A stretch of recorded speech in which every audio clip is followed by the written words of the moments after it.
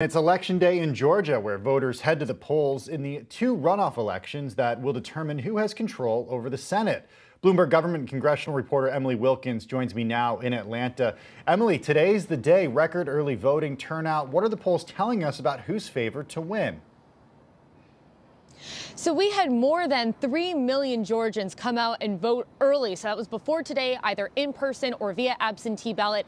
I mean, to just to compare, 5 million people in Georgia voted in the general election. So that's a lot of early voting. Still, we are seeing people come out to the polls today. Uh, just sort of general wisdom here is that it's mostly Democrats who tend to do early voting, absentee voting. And so we're expecting a lot of Republicans to show up at the polls today. We're expecting that to be reflected in the early results tonight. Republicans are supposed to sort of uh, take the lead until the absentee ballots get counted, at which point we expect this race to narrow considerably. Emily, uh, has President Trump's continued attacks uh, on the legitimacy of the presidential election, his claims of voter fraud, have they affected the race at all? Are they indicating they've affected turnout for Republicans? Definitely a lot of uh, individuals in Washington and some in Georgia found the call to be very shocking. Democrats have come out and criticized the president for the call, but it remains to be seen exactly what impact this is going to have among Republicans. A lot of Republican officials were kind of concerns that con worried that concerns about fraud in the November election would translate to Republicans simply not showing up to vote in the runoff. However, I've talked to a lot of Republicans here.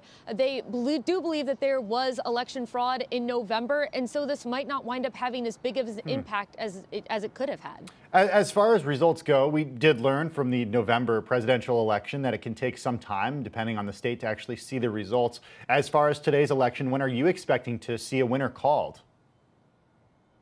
We're not expecting that tonight. We think it might take a couple days for Georgia to finally announce a winner in this uh, in, in, both of these Senate runoffs.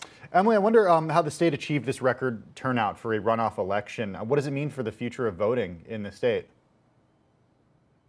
I mean, this has just been such an absolutely critical runoff. There's been so many volunteers knocking on doors, so many ad dollars flowing in, so many ads, really. Poor Georgians have just been bombarded with them. But remember, this isn't just a product of the runoff. I mean, Georgians have, for about a decade now, really been doing a strong grassroots push to get people educated, get them registered, and get them out to vote. I think you're going to continue to see Georgia be a swing state and be a powerhouse in terms of turnout. Bloomberg Government's Emily Wilkins live in Atlanta. Emily, thank you for your time. Best of luck today as you continue to cover this race.